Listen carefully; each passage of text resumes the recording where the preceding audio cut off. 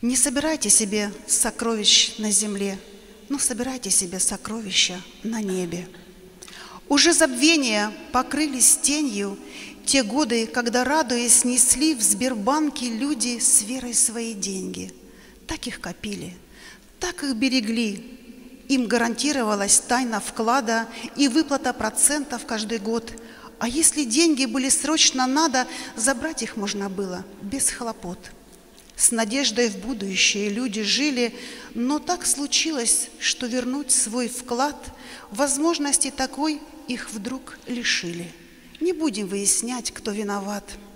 Сегодня много в мире изменилось, привычки, деньги, цены и права, и столько новых банков появилось, где выгоду лишь обещают вам. И тайны вкладов ныне уж не стало, известны всему миру имена владельцев миллионов капитала. В такие вот живем мы времена. Какая жажда власти и богатства!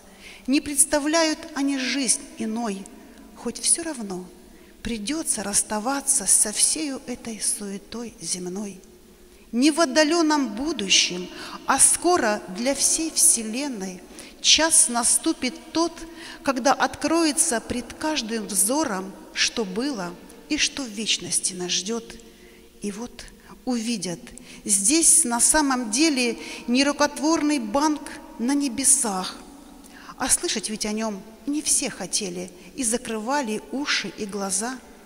И будет удивительно кому-то, что с первых дней творения всегда там принималась лишь одна валюта на все счета – любовь и доброта – то будет час восторга для кого-то. Там будет слышен также стон и плач, себя увидит кто-то там банкротом. Кому-то станет ясно, он богач.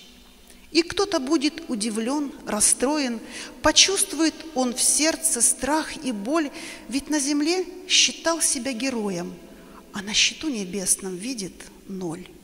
Дай, Господи, забыть нам чувство меры в любви и добродетели своей, чтоб все мы были там миллионеры, когда нас встретит вечность у дверей. Аминь.